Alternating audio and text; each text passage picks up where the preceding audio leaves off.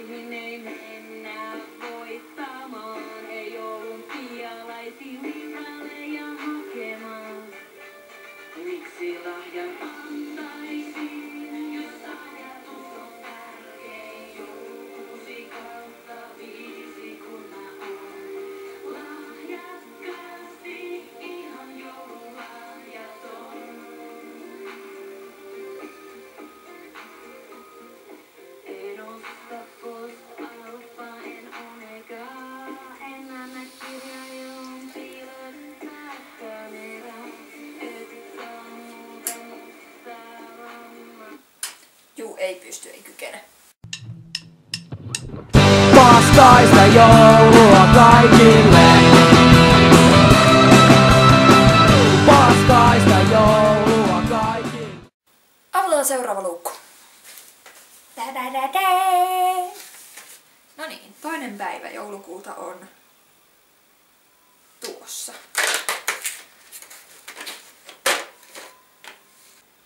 Sain söpön tähden. Söpöä.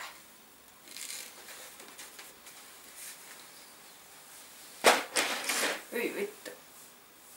Tänään seuraava aihe, eli toinen aihe, joka ärsyttää joulussa aivan älyttömästi. Eli joululaulut. Kilisee, kilisee kulkunen, helkkyen, välkkyen. Ja siis on olemassa ihan kivojakin joululauluja, joita pystyy kuuntelemaan. Niitä on ehkä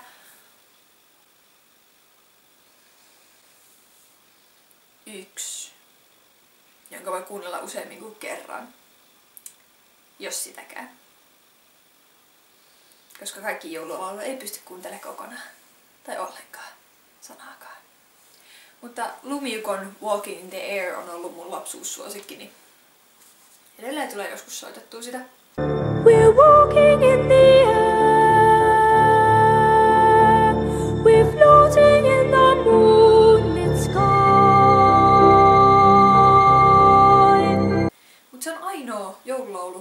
tai joulukappale, mitä mä kuuntelen tai vapaaehtoisesti kuuntelen, laulaskelen, hyräilen. Ja sekin on silleen once in a blue moon.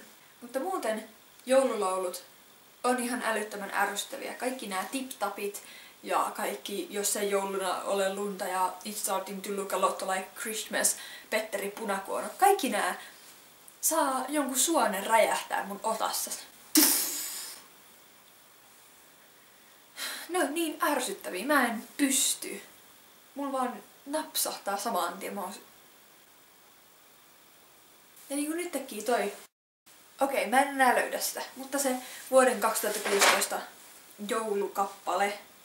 Miksi semmonenkin pitää olla? Eikö riitä, että on jokaisen vuoteen yksi kesähitti, jota soitetaan vuoden ympäri? Ja vielä seuraavanakin vuonna, koska se oli tämän vuoden kesähitti, laitetaan se vielä kerran. Niin sitten on joululaulut. Joulukappale. Se oli PH-arvo bändin tekemä biisi. Mikähän sen nimi oli? Joku joululahja tai joku tällainen, jossa lauletaan, että en osaa hommata joululahjoja, joten olen lahjattomasti joululahjaton. Tai siis lahjakkaasti joululahjaton. Ei ole kovin lahjakas biisi. He, he, he, he. Juu. Ja sitten näitä joulubiisejä kuuluu koko ajan radiosta ja kaikkien kauppakeskuksien radiosta ja kaikkien kahviloiden radiosta. Sitten niitä kuuluu kaikkialla. Sitten sit laitetaan kaikkien mainosten taustalle, laitetaan tip-tapit soimaan. Ja sitten pitää laittaa kaikki ravintoloihinkin taustamusiikiksi, kaikkea joulumusaa, kaikissa kahviloissa on taustamusiikkina joulumusaa. Ja niin kuin minnekään ei voi mennä ilman sit saatana joulumusiikkia. Ja sitten jos, jos kuuntelee vaikka kännykällä musiikkia, Spotifys tulee joulumainoksia. Jeesus, tässä ota ratti. Ja ne on ihan valtavan ärsyttäviä. Ja sitten ne soi päässä. Ja sitten kaikki laulaa niitä, koska ne soi jossakin taustalla. Ja sitten ne jää päähän soimaan ja sitten ne niin kaikki hyräilee tai lauleskelee niitä. Ja sitten ne jää toisten päähän, jotka on niiden ihmisten kanssa, joiden päähän se on jo jäänyt. Nervokasta. Mutta siinä oli tämän päivän valitukset. Katsotaan sitten taas huomenna mitä tulee. Ja tähän asti tää on vielä mennyt hyvin, että mä oon saanut joka päivä yhden tehtyä. On mennyt kaksi päivää. Mutta nähdään sitten taas huomenna. Laittakaa taas kommenttia alas ehdotuksia ja semmosia. Ja jakakaa kaikille, jotka ei tykkää joulusta ja kaikille, jotka jotain joulufanaatikkoja tämä, niin jaetaan hyvää mieltä. Moi!